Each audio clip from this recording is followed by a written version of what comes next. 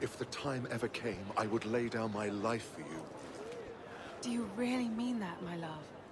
More than you'll ever know.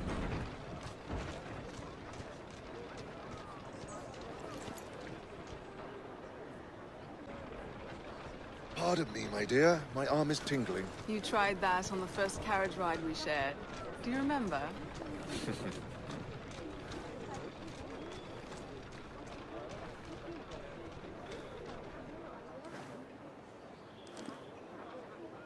mm, no, this won't do.